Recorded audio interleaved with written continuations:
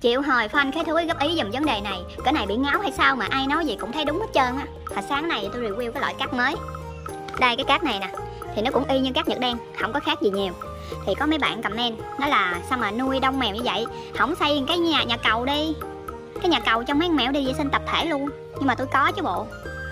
Trời trời, nói chuyện ở đây không chịu nha. La làng nha bà con. Bà con đã khoái review đồ chứ trời hay có đồ gì mới? Ăn uống hay review gì? Đòi ra ngoài coi đó. Ê, cái số con này thích review nha. Thôi có con này ở ngoài này. Nó ra con nó sân si. Là nó tới đâu rồi? Ờ nó nói sao không xây cái nhà cầu cho tụi nó đi vệ sinh tập thể. Tôi nhớ hồi đó tôi tính xây đúng không? Là cái nhà cầu nè có sẵn rồi. Vô mọi người coi. Nè nè bớt cái mỏ lại nha. Cái nhà cầu trong này. Đây. Biết sao không? nó cao quá làm biến tập. Thôi đi trong cát cho nó tiện. Nhưng mà với cái đà đông mèo như vậy á không lẽ mình xây cái nhà cầu ngồi xổm ta? Không phải xây cái nhà cầu ngồi xổm, có chừng hai cái cho cho chín con mèo đi ra vô vệ sinh được không? Mình đâu có rảnh đâu, mình vô bật nước cho nó hoài đúng không? Tại vì mỗi một con nó đi cũng ra hai, ba cục. Thì phải bật nước mới được. Hay là một cái nhà cầu đi, ba con đi. Cũng sáu, bảy cục rồi. Rồi, không lẽ mình canh bật nước hoài nếu không bật sợ nghẹt cầu không? Hả? Sao vấn đề đó? Chín con mèo. Gửi nữa hứng hứng tròn vẽ ở chung với chín con mèo là 10 con cái này không phải là phí tiền, mà là mình muốn tiết kiệm tiền mua cát. Nó chứ cát mua một tháng cũng nhiều, chưa kể sách ra, sách vô nó nặng nữa. Mà tụi này nó bươi bà con thấy không? Cát văng vô tới nhà hoài. Không lẽ xây cái nhà vệ sinh tập thể sao ta? Mà nếu xây khu vực nào bây giờ? Cái này tôi chỉ hỏi ý kiến mọi người nha. Nên xài cái loại cát này hay là xây cái nhà vệ sinh. Nhưng mà nếu xây nhắm mà tiết kiệm được cát hả? Xây mà xây để cho nó phung phí cũng vậy à thì cái này cái đầu óc bị ngáo ai nói gì cũng thấy đúng hết trơn. Rồi đó hỏi phanh cái thúi, hỏi phanh cái thúi góp ý cho tôi. Không lẽ xây ngoài này. Nhưng ở ngoài này, mỗi khi trời mưa, trời gió, từ ở trong nhà bước ra dầm mưa, đi cầu hả? Bất tiện. Xây bên trong. Ở trong kẹt cái nhà tù rồi, phải chi không có nhà tù á, mình khoét cái đường đi ra ngoài. Chỉ nói ví dụ có xây thôi nha, chưa chắc là xây đâu. Trong này kẹt nhà tù rồi. Ở đây thông ra nhà vệ sinh là chính xác nhất nè khỏi phải dầm mưa. Chứ mỗi lần mất tiểu mất ị thì đi ra ngoài dầm mưa mới đi được. Hay là thông qua cái nhà dưỡng lão. Em mình nhìn vậy xấu nha. Xấu lắm xấu lắm. Đó. nhắm xây cái nhà vệ sinh cho chín con mèo. Mình có thể tiết kiệm được cát không? Rồi một tháng là tiết kiệm cát cho chín con mèo là, là tiết kiệm được nhiều tiền á. Mà tôi sợ xây cái tụi nó không chịu đi quá à. không đi cũng phải đi. Nếu mình không cho nó cát thì nó cũng phải kiếm đường nó đi thôi theo mọi người thấy sao? Cái gì chửi vậy? Chị chửi vậy? Chửi khè nữa hay là không được? Đi ra ngoài này là không không có được. Buổi tối tôi đóng cửa sân lại nữa. Trời trời. Bà xây xong cái nhà dành cho chó rồi bà con. Lẹ dễ sợ. Nào rảnh vẫn review nha. Nếu không có dầm mưa, nếu mà ra thoải mái tôi sẽ xây nhà vệ sinh đây nè. Tại vì ở phía này á cái trước này là mặt tiền nha. Nhìn ra ra mấy cái gốc cây là xe cộ chạy qua lại. Nó có xây xây sát ở trong này. À, cái nhà chó đã hoàn thành này. Để có rảnh bảnh review nha. Đó theo mọi người thấy sao? Xây cái này không phải để giải trí không phải để tốn tiền mà là tiết kiệm tiền cát. Nếu nhắm tiết kiệm được thì mình xây còn không tiết kiệm được thì vẫn xài cát này bình thường. À, tôi thấy comment cũng hợp lý nhưng bồn cầu mình xây sẽ là bồn cầu ngồi xổm nha chứ không phải bồn cầu mà, mà ngồi ngồi cao như mình đâu. Có gì mọi người góp ý nha. Hồi đó còn có ý tưởng táo bạo hơn là gì biết không? Làm cái hầm cá dồ tại vì mỗi lần sách phân mèo đi bỏ mệt quá à. nó có cái hầm cá dồ mỗi lần mèo đi cho nó, nó lẫm luôn. Mà những con cá nuôi là không có ăn không có làm gì được đó nha. Nuôi tới già tới chết thôi. Nhưng cái hầm cá dồ nguy hiểm lắm. Rủi nó giỡn hết rồi nó rớt xuống rồi báo nữa thôi, nói chung là cái nhà không nên có ao. Chỉ là làm cái nhà vệ sinh. Mà thường xây cái nhà vệ sinh mà chứa có chừng hai, ba cái bồn cầu. Hình như chưa thấy cảnh này ha. Vì cái ý tưởng này nó có hơi bị quá đản không? Quan trọng là có tiết kiệm được tiền cát hay không? Tiết kiệm được thì chơi còn không được thôi à. Cái gì mọi người góp ý nha. Chưa vệ sinh nha, một ngày hai thao cát. Đầy vậy đó. Rồi hốt rồi sách ra ngoài bỏ. Rồi nó nó chay rồi phải lao, phải quét nếu có nhà vệ sinh có thể đỡ hơn. Dù có dọn, chỉ quét dọn xung quanh khu vực đó thôi. Quỷ giờ không làm gì. Phá đi nha.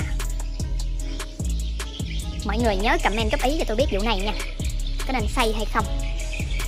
Mà nếu xây, giờ chưa có rảnh đâu, chắc phải qua tết. Mà tôi nghĩ tới cảnh dọn từng phòng từng phòng tôi thấy đuối rồi đó nha.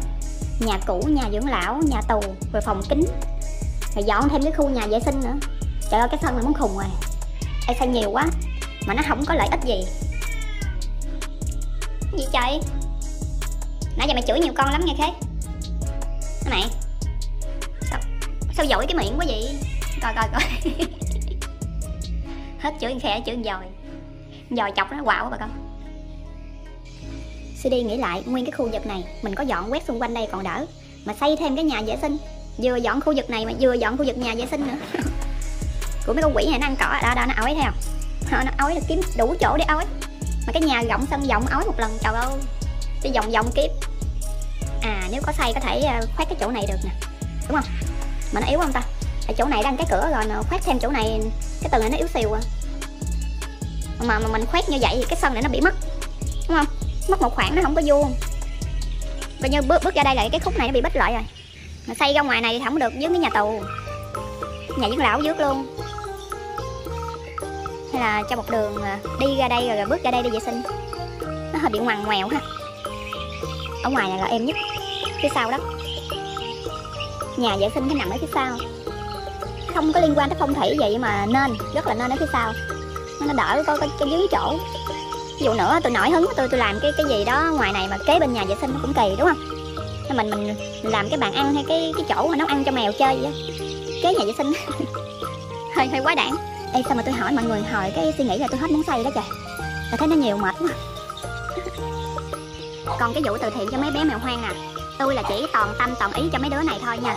Còn những bé khác là kiểu như là tùy duyên Chứ tôi cũng sợ người ta ghéo tôi lắm. Thế nhưng mà gặp bé đó rồi sau này có gì cái người ta liên hệ rồi người ta kêu ghéo mình. Như là thành trách nhiệm của mình luôn Mà đó chỉ là tùy duyên thôi.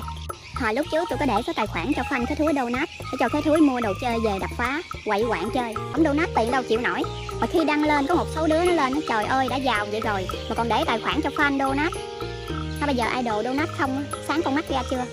Có nhiều người thấy là được ủng hộ tiền là xanh ra cái tánh ganh tị, Ngộ lắm.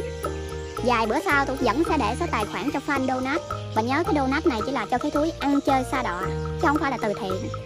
Cái sợ nhất là cái vụ mà mọi người ủng hộ từ thiện mà không từ thiện rồi bắt sao kê sợ cái đó dữ lắm luôn. Nhưng mà nếu cái thúi làm biến chơi đồ chơi, không muốn chơi nữa, thì sẽ dùng số tiền đó đi từ thiện. Mà tùy nha, tùy hứng nha. Coi như không phải mục đích là từ thiện mà là ăn chơi xa đọa. Đó tôi sẽ để số tài khoản lên. Khi mà tôi từ thiện chỗ nào thì tôi sẽ nói là fan fc cái thúi ủng hộ. Vậy thôi. Và đó là cái à, mục đích của tôi. Là cách sống của tôi tôi để số tài khoản rõ ràng. Ừ các bạn chuyển tiền vô là cho cái thúi mua đồ chơi ăn chơi xa đọa quậy quạng gì đó không biết. Và không có sao kê à, không muốn chơi đồ chơi nữa. Lấy số tiền đó làm từ thiện. Thích hay không thôi chứ không phải trách nhiệm của cái thúi. Tại vì một mình cái thúi mà bao xô không có nổi. Thật sự vậy mà cứ bị ghéo hoài nhức đầu lắm. Thôi để cộng đồng mạng chung tay. Mà những bé kia có thể mọi người nhìn video.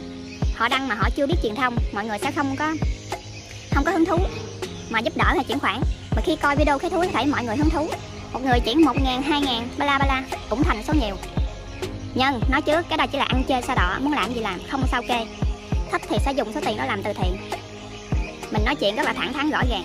Và mình cũng không có phải kêu ghéo người nào hết. Ai thích thì làm thôi. Tôi sẽ để thẳng cái tựa là ủng hộ cho triều đại khế thúi mua đồ về đập phá ăn chơi xa đỏ. Thích cái gì mua cái đó. Hay muốn làm gì làm. Ha, để thẳng thắn như vậy sau này sẽ không có ai nói. Tại vì có nhiều thành phần họ rất là ganh tị. Một con mèo ta mà được nhiều fan ủng hộ như vậy, bắt đầu họ sân si, rồi họ vô họ chọc phá. Họ sẽ nghĩ y số tiền làm từ thiện mà lại cho tụi này ăn chơi xa đỏ và để thẳng vậy đó, ăn chơi xa đỏ luôn.